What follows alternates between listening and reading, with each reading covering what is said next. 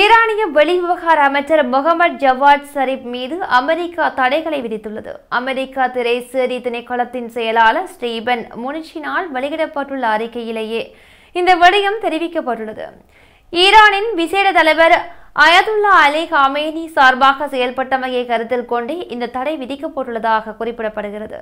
யவாட் ஷரீப் ஈரானின் சிரேஷ்ட தலைவரின் பொறுப்பற்ற நிகழ்ச்சி நிரலை செயல்படுத்தியதாகவும் ஈரானுக்கான உலகளாவிய ரீதியில் முதன்மை செய்தி தொடர்பாளராக செயல்பட்டதாகவும் குறித்த அறிக்கையில் சுட்டிக்காட்டப்பட்டுள்ளது. எவ்வாறாயினும் அமெரிக்காவின் இந்த நடவடிக்கை தம்மை அச்சுறுத்தும் நோக்கத்தில் மேற்கொள்ளப்பட்ட விடயம் என முகமது ஜவாத் ஷரீப் தனது ட்விட்டர் பக்கத்தில் பதிவிட்டுள்ளார்.